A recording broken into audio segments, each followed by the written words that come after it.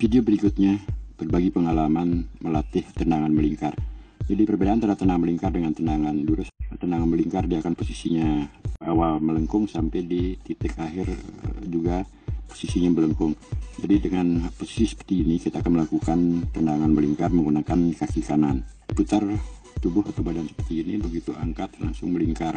Nah dari awalnya kaki melingkar dan terakhir pun uh, adalah melingkar juga. Ini pergaan seperti contoh. Nah hasilnya uh, seperti setengah lingkaran. Jadi memegang peran sulit. Tenang melingkar ada yang tenang melingkar yang rendah, ada tenang melingkar yang agak melingkar yang agak tinggi. Ini contoh tenang melingkar yang posisi tinggi, jadi lebih dari di atas pinggang. Peragaan foto ini, pertama kita melingkar begitu, ini adalah hasil endingnya. Hasil dari lurus, akhirnya ada sedikit lekukan ke arah ke belakang. Lurus ke arah belakang ini endingnya istilah kayak ininya adalah merupakan kayak memukul. Jadi menarik dari lentingan lutut ke arah belakang. Jadi di dalam lengkungan lengkungan dari lutut itu akan menjadi momentum gerakan yang kita tuju. Jadi kekuatan power ada di daerah lengkungan kaki seperti itu.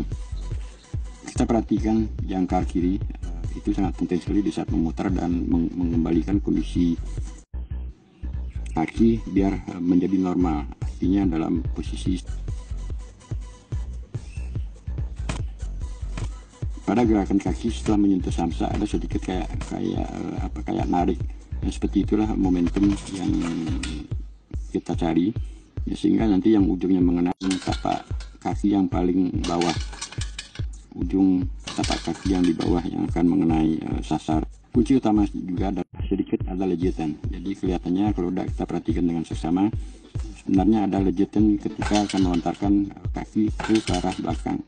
Jadi posisi meloncat sedikit saja dan akhirnya kita lenturkan ke daerah sasaran atau samsat ini adalah peragaan dari posisi samping putarannya seperti itu dia. Jadi kaki kiri yang bertumpul di tanah benar-benar menjadi tumpuan ketika itu goyah akhirnya sasarannya juga akan tidak kena tepat. Ataupun ketika mengenai sasaran tubuh akan menjadi condong. Bisa-bisa itu akan menjadi jatuh. Jangkar jangkar menumpu di tanah. Kedua juga tapak kaki yang akan menaruh uh, posisi uh, tendangan kanan ke arah sasaran atau ke arah lawan. Peragaan berikutnya merupakan uh, melatih tendangan speed atau speed pendek. Atau bahasanya boleh kita katakan bahasa penghambat. Jadi tendangan agak di bawah pinggang itu uh, menarik. Setelah kita tenang kita tarik sifatnya hambat jadi lajunya lawan ataupun lajunya samsak ke arah kita. Dengan secepat uh, mungkin kita lakukan gerakan tenangan. Ada yang tenangan di atas atau di bawah uh, ada juga yang tenang di, atas. Ini sama dengan tenangan lurus hanya saja dikeluarkan setengah bentuk tarik. Setelah menyentuh ke arah sasaran akhirnya kaki ditarik. Tarik secepat semakin cepat menarik kaki itu kan semakin bagus.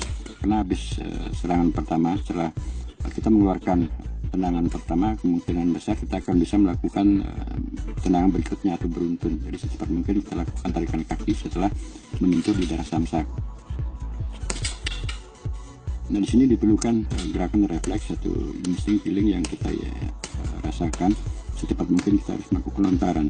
Namun tidak kembali berkali-kali kita katakan tidak tidak kalah pentingnya juga adalah jangkar yang di bawah sangat memegang peran jadi gerakan pinggul juga. Kan ketika kita berada dalam posisi santai kita melakukan serang gerakannya santai tapi begitu ada sasaran dari serangan dari depan kita bisa melontarkan kaki di bawah. Dan selanjutnya silahkan untuk mengeksekusi dengan gerakan. Jadi gerakan ego pinggul ini sangat uh, penting juga. Jadi semua otot-otot dan juga gerakan uh, tubuh harus bermain jadi satu kesatuan semoga beberapa gerak yang kita coba share ke teman-teman yang sudah menggunakan media sosial sebagai partner latihan dapat menambah perbendaharaan dalam melakukan gerak sehingga tidak akan sulitnya untuk melakukan olahraga